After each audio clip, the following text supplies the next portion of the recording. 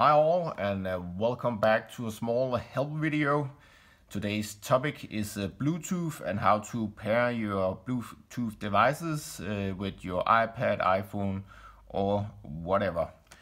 Bluetooth is a very nice way to connect different devices. I use it to, uh, to connect with my headphones, uh, AirPods uh, and whatever.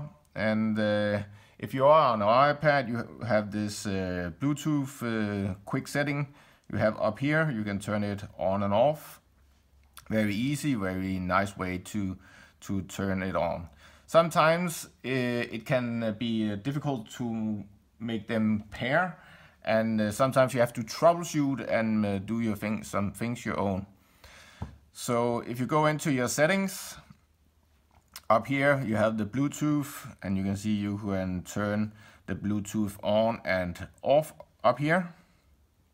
And right now I don't have any devices. Right here I have my AirPods and uh, on the back there's this button where I can uh, press the button and it will connect uh, my AirPods to my Bluetooth. So uh, let's try that out. I open my AirPods press the button at the back and hopefully the device, yes, will come up. You can see AirPods and I can uh, press connect. And my AirPods are now connected. Pre pretty nice, very easy way to do this and it worked the first time so I'm a, a happy camper right now. But sometimes it's not that easy. If you have some other devices that is not an Apple device, but you still want to connect with Bluetooth, it can be a trouble. So what you can do uh, is to, of course, turn your Bluetooth on and off a couple of times see if that works. Sometimes it can be a bit uh, slow to connect, so you have to give it a 10-15 seconds to see if it's able to connect. If this is not happening, what you can do is put your uh, iPad or iPhone into airplane mode. We have it over here, right here, which will turn off all uh, devices, uh, network devices and Bluetooth and all that. Wait 10 seconds, 8, 9, 10.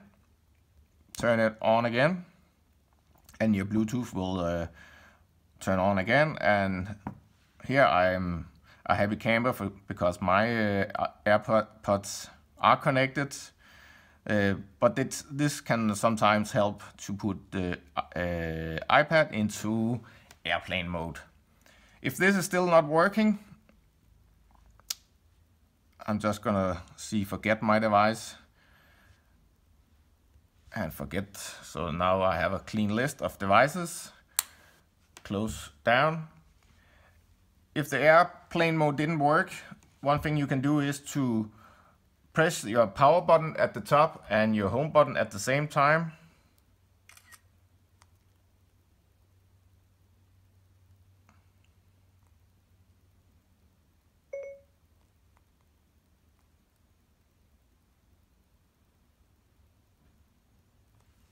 This will reset your iPad, not deleting anything but it will uh, power off your device.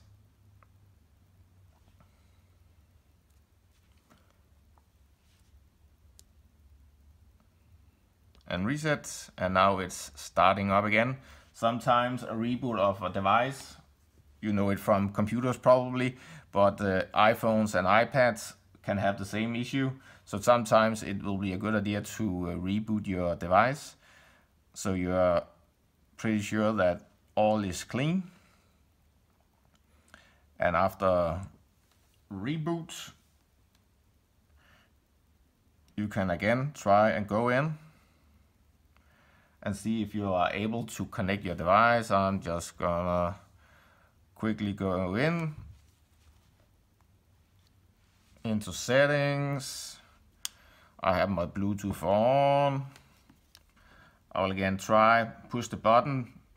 On some devices, you need to push your button 10-15 seconds before uh, your iPad recognizes that the Bluetooth is on.